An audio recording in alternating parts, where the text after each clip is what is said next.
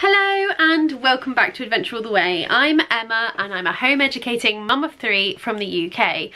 And I wanted to start with a quick apology for not having a load of videos in the last couple of weeks. Um, we've just been super busy with some um, family plans that have been going on and um, actually getting out and seeing people socially distanced, um, which has then been really overwhelming for the children who haven't had that experience in a while and then we've had a couple had to have days to recover and so on. So it's been a bit mad and I'm but I'm getting back to videos. I filmed a load ahead of time so you're gonna have some really good videos coming up. So this is part two of our bean study and I know that part one of the bean study did not go as well as planned. And I did plan on filming the children doing the writing activities that follow that but they, none of them were in the mood so this is one of the beans that we planted.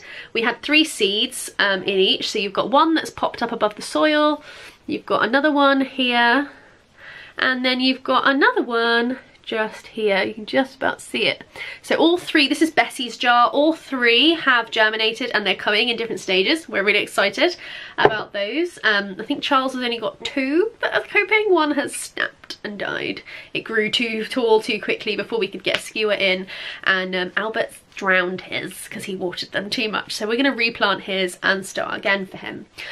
But a few of you were asking what I did for to encourage writing and the other side, the more um, theory and academic side of the bean study. And this is what I've got to show you. So they're all a bit wet because we've literally just finished doing them.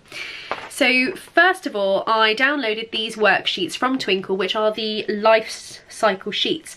Now Twinkl is really, really good. You can see these little stars and one star each star is, each star section is a different ability level. So for example, this is star level one, and this is for a lower ability group.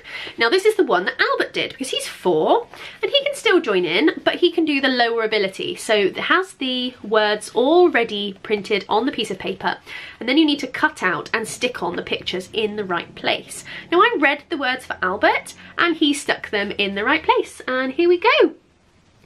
I think he did a really good job and he really, really enjoyed it, which was really, really good. He enjoyed being able to do what the big kids were doing and have a go.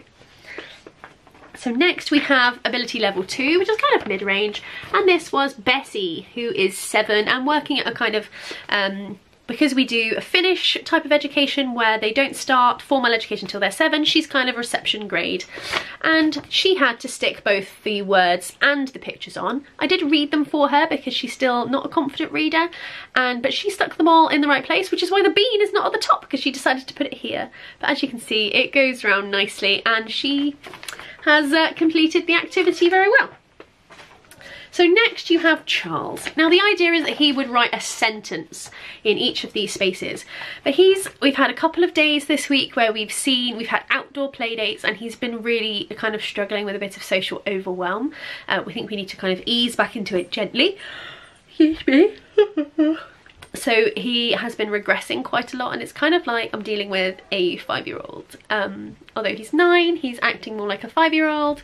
So there's lots of things he refuses to do and lots of things he doesn't want to do and he uses baby language and he acts a bit like more babyish than um, a nine-year-old normally would and so it's kind of navigating that and then adapting his education so it fits who he is in that moment not who he is not his chronological age so he drew his pictures you've got a bean and then you've got a bean plant with roots and leaves and then you've got a bean plant with roots, leaves and flowers and then you've got a bean pod and he has written the key words which are bean, bean plant, flowers and bean pod and I was happy with that because he'd done a lot of writing. This was the last writing activity he did. He'd done a lot of writing today for him and I was really pleased with that. And that is level right ability level three so that's a higher ability and because they are four seven and nine that means that i just downloaded one resource and i used all three of the things in that resource for their different abilities also we downloaded this the bean plant diary word map and it's got everything in precursive and all the things that you might need for your bean plant experiment.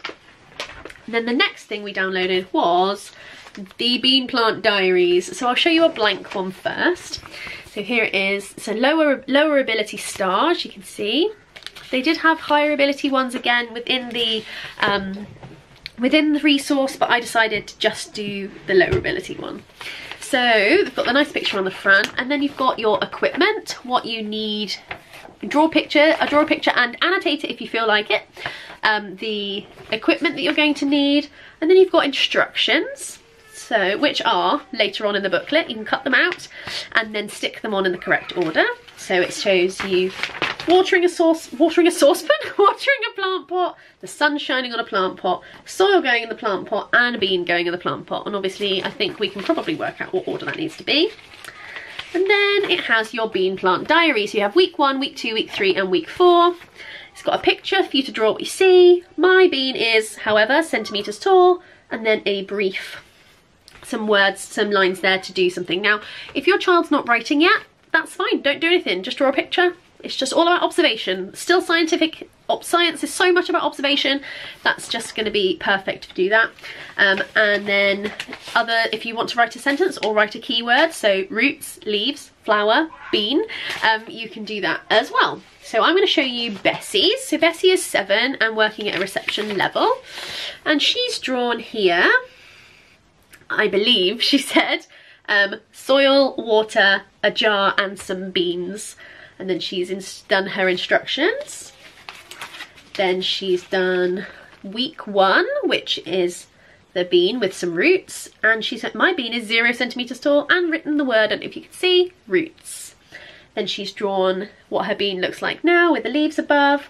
She's written my bean is five centimeters tall. We got the tape measure out and we measured it, which was fun. And she's written leaves, which is very cool. And then you can go back the rest. Obviously she hasn't got anything anything else to do yet because it's not any of the other weeks. And at the end you've got it goes up to week five and then you've got what do plants need? Things that plants need to grow. So in that we're going to draw nutrients water plants. Nutrients water and sunshine. And then I'm going to ask her to write those keywords on the list so here's Charles's. Charles is working at about year two level. He is nine. Um, again, he didn't start formal education until he was almost seven. So as he started, he's on track and doing very well. But compared to a child who would be, who's in school, who is on track for where they are in school, he's about two years behind. So he's written his name, his full name, and he's done a smiley face. Oh, it's got a bit stuck together.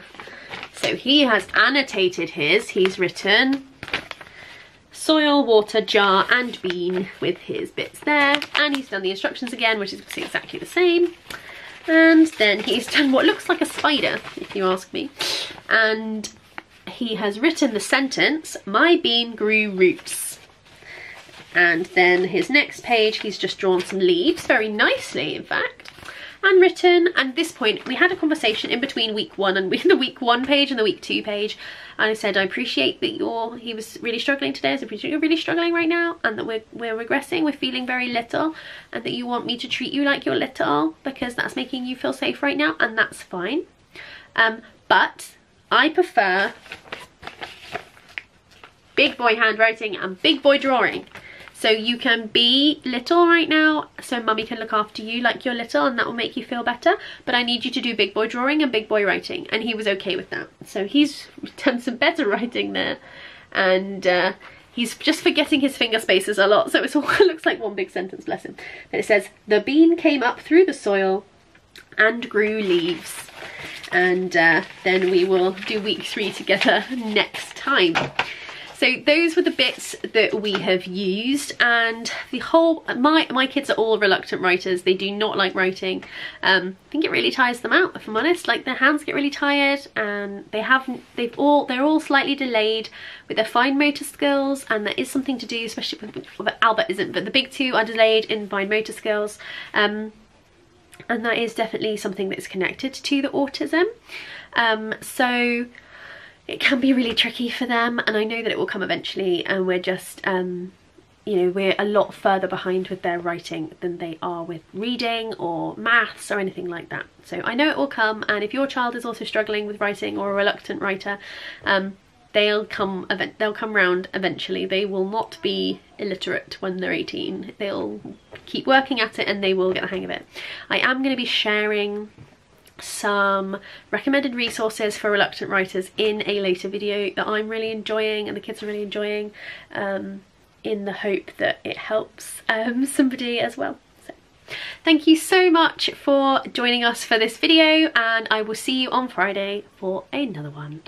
Thanks so much, have a great week, bye!